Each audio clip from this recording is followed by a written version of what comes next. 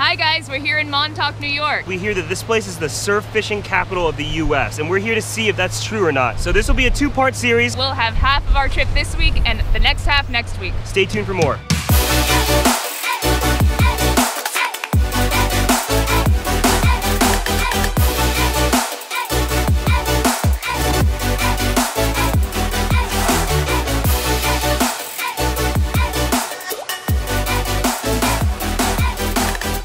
This week we are in Montauk, New York. And for those of you who don't know, Montauk, New York is way out at the tippity tip of Long Island, all the way into the Atlantic Ocean. Why are we here? Well, the surf fishing here is supposedly legendary. I'm talking about 40 pound stripers, 40 pound bluefish being pulled out from the surf here. I'm seeing pictures of surf fishermen standing on the rocks out there, battling the elements, getting destroyed by the waves, and pulling up huge fish. And we're here to see if this is true or not. And our journey is going to begin at Paulie's Bait Shop. Alright guys, so we've looked up one of the best tackle shops around the area, and that is Paulie's Tackle. Uh, got great reviews on Yelp, and this is a great place to start. You don't know what you're doing. Go to a bait store, talk to some locals, they have good advice.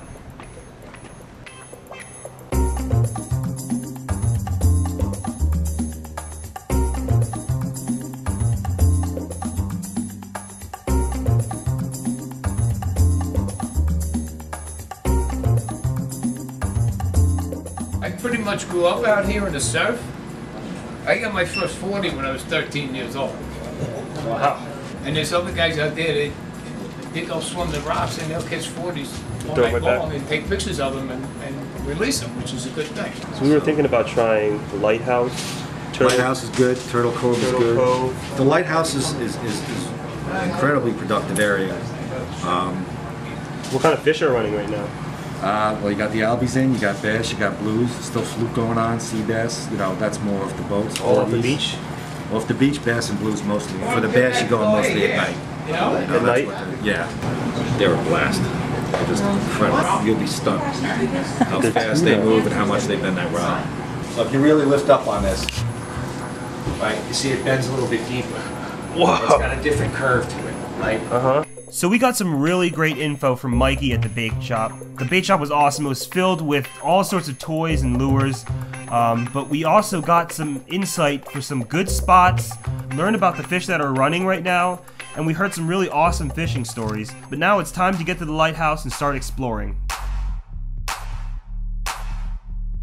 So we've spent a couple hours at the lighthouse and we're walking around exploring and we notice something very strange and interesting, which is we see these huge fish washed up on the beach, but not the whole fish, just the decapitated heads. We're talking about like 40 pound striped bass washed up on the shore. I'm seeing dozens and dozens of just dead fish everywhere. To us, it's part of our quest for the legendary fish. We can see these remains of what we're trying to go after, but we can't catch them yet. So I have some theories as to why there's so many dead fish heads on the on the shore. Um, but I'm wondering, what do you guys think? How do you think that all these fish heads got here, and why do you think they're here? So if you guys would comment below, that'd be awesome. A fresh rockfish washed up on the shore. The gills are still really red. The eyes are still glassy.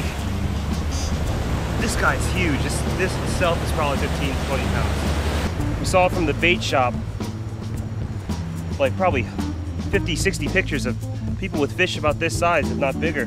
40, 50 pound stripers running on the surf, catching them on topwater plugs, on bucktails, tin. It'd be a dream to catch one of these. Mike from the bait store told us to go to the lighthouse to try. Um, and he also recommended to use a bucktail.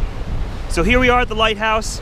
I've got a bucktail on, hoping to catch a bluefish or a big striper. Um, I'm not really seeing anyone catch anything right now, but I'm gonna give it a try and see what happens.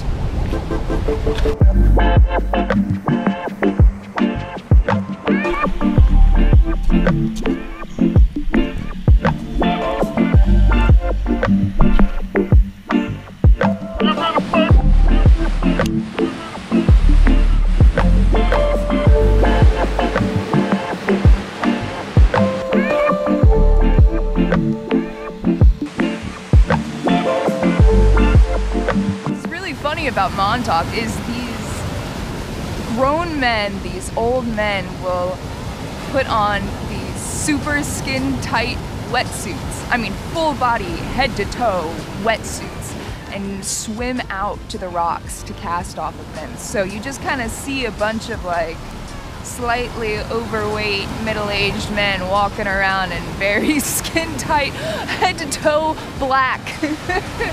um, and that's what we see throughout the entire shoreline is these people just head to toe skin tight black wetsuits and these big belts with supplies and baits and tackle around their waists and these huge surf rods um, and that's the montauk style i guess Just found a lobster.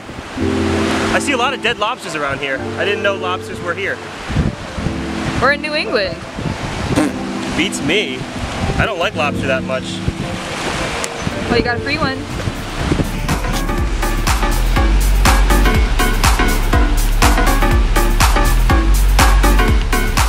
A bunch of birds just flew by and started feeding on little bait fish and you could just sense that something changed within everyone here on the beach. I mean right now i'm probably this is probably 15 other fishermen just on the shoreline where i can see. And i mean everyone started yelling and whooping and wanting them to come in and then a boat came and scared them off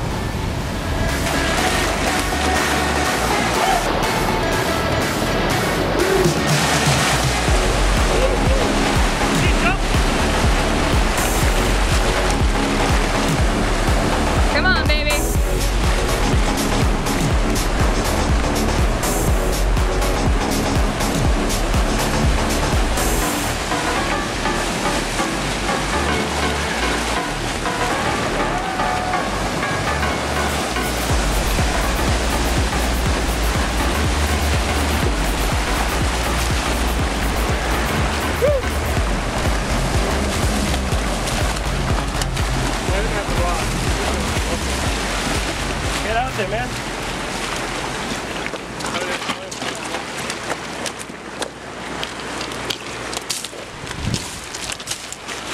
Hours of no fish. Took a 10 minute break. And this this hit it the second I uh, threw it. Second it hit the water. This First fish of the night.